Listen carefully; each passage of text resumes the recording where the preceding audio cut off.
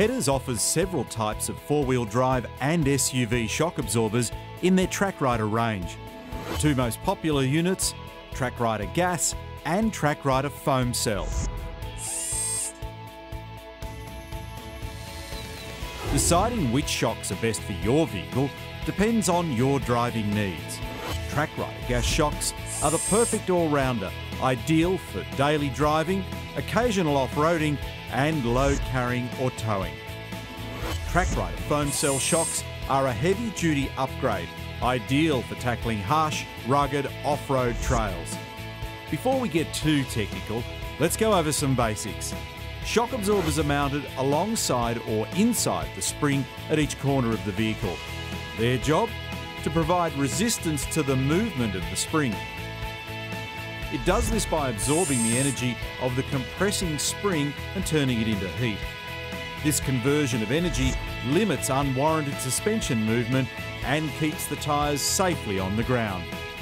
Pedders TrakRyder Gas and TrakRyder Foam Cell boast the latest in shock absorber technology. Both feature twin tube construction, ideal for off-road use.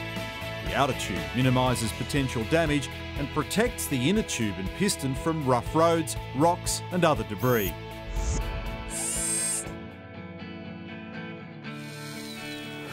The inner tube of the TrakRyder gas shocks acts as a cylinder for the piston, which is contained within a tube of hydraulic fluid. As the shock compresses and extends in an action known as oscillation, hydraulic fluid moves through the piston and outer tubes. Nitrogen gas is used to pressurise this fluid, which is vital in reducing shock absorber fade. This pressurisation helps prevent what's known as cavitation, where the shock absorber fluid begins to form bubbles similar to boiling water, and control of the spring is therefore lost. This can be caused by extreme or high speed oscillation.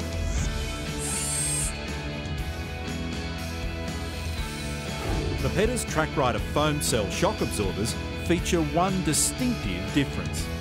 A sleeve of special closed foam cell. The foam cell insert acts as a compressible medium that allows for the displacement of fluid when the piston rod is compressed. The total oil fill means there is no air or gas mixed with the fluid, eliminating aeration. As the fluid cycles between the two tubes, it dissipates heat.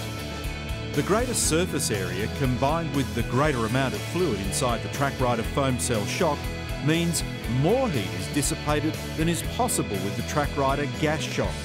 This means you can drive for longer in tougher conditions without loss of performance.